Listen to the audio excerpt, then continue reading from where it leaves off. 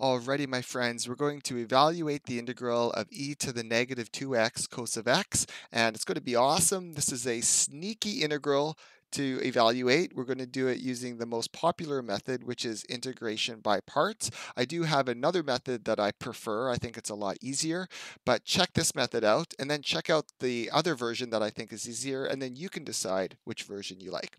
Okay, so we're going to set u equal to cos of x, and then dv in this formula right here. This is what we're trying to evaluate, u dv. So dv is everything else, e to the negative 2x.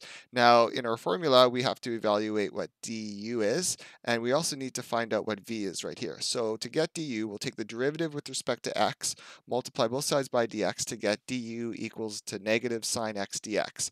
And that's because the derivative of cos x is negative sine. Okay, so now we'll integrate dv, both sides actually, to get v. And if we integrate this, we get negative e to the negative 2x divided by 2. So if you look at this and take the derivative, the derivative of this function is itself times the derivative of the inside function. We do a chain rule here where the negatives these two negatives here cancel out, and then this 2 would cancel out with this to give us this if we took the derivative. So this one, this v, is the integral of dv.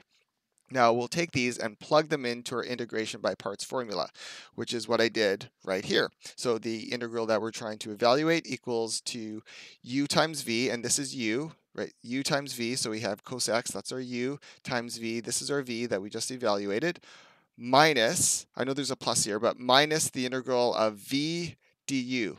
And du is the sine x, which we have here. v is this thing, which we have here. Notice du and v are both negative, so those negatives cancel to make it positive. There's a minus here. This minus, I brought inside right here. I brought inside right here. Now you could leave it here, but I like to bring it inside. And the reason is if you look at these two integrals, we now need to evaluate this one, right? And it doesn't look like this integral is any easier than this one. But this is the tricky part. We're going to use integration by parts again, believe it or not. And the reason is that if we used integration by parts once, and from a cosine x, that gave us a sine x. If we do it again, we'll exchange our sine x for cos x, which is the same integral that we're starting with. So I'll show you what I mean. Here we'll set u equal to sine of x and dv equals to everything else right here. This is why I brought the minus sign in here because it just makes integration by parts easier to deal with. Uh, you don't have to worry about this negative sign or this minus sign being distributed in the formula. So, okay, so to find out du, we'll take the derivative with respect to x, du dx, and then multiply both sides by dx to get du equals cos x dx because the derivative of sine x is cos x. We'll then integrate both sides here to get v equals the integral of this. And the integral is e to the negative 2x divided by 4. And it, we can tell this is the integral of this because if you take the derivative of this, you'll get this one. The derivative of this function is itself times the derivative of the inside function, which is negative 2x, which and the derivative of that inside function is negative 2. So that negative 2 cancels kind of one of these fours to a 2, and then we get our negative in there. Okay, so we'll hope that's clear. Anyways, we'll substitute in what our uv is and our minus integral of v du again into the formula, and we'll get this. So this is the integral that we're aiming to evaluate. This term comes along for the ride. See, I just brought it down. Now we need to plus the integration by parts formula on the right-hand side. So uv minus v du. So this is u times v. Uh, well, this is u, and then this is v right here. I just interchanged them, that's fine. Minus the integral of v du, and here's our v, and here's our du, cos x dx, plus our integration constant. Uh, that has to be there.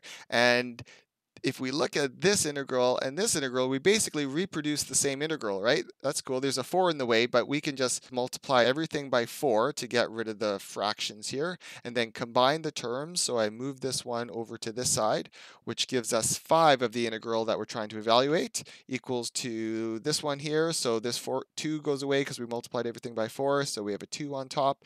This 4 is gone because we multiplied everything by 4. And now if we want to know what this integral is, we'll just simply divide by 5.